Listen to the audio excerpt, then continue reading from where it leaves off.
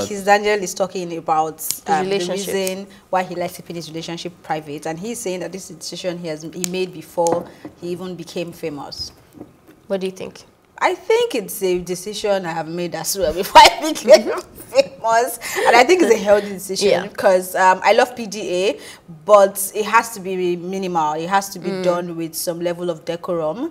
Um, I mean, uh, you don't get into relationships thinking that it will fail, but life happens. Mm. Yeah. So I, I I would like to keep that room for myself and maybe my partner to be able to tread this treacherous world without having to be torn hmm. apart because a relationship did not work. But is it um, terrible for those who are doing it? I mean, it's not. Just hmm. be ready. Just know the pros and cons of your Yeah. decisions, basically. I think so too. I think your mindset towards it is very different. I've known people who would who cannot eat breakfast without putting it on social media, mm-hmm. and then there's people on the other spectrum that you wouldn't know anything about. I feel like I'm the one that would decide how I want to put my life out there, and uh, as I'm doing that, anyone has to have that responsibility of knowing what that means. If you're going to be private, know what that means. If you're going to also be open, you know what that means. I think that both of them have consequences because Yeah. even people that don't bring out their, their relationship. Obviously, think a lot like the line that you just explained, where there's privacy and you you don't want that that that um, type of exagger- um, exaggerated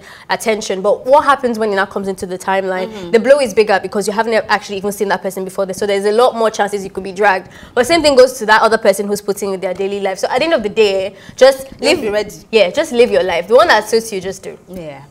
To me, privacy is um, supposed to be gotten when. Why are you smiling at all that previous? Are you dating? are you dating plenty girls? No, I just feel like um, when there's assurance, mm. then privacy is no longer a thing. There's assurance, privacy. Okay.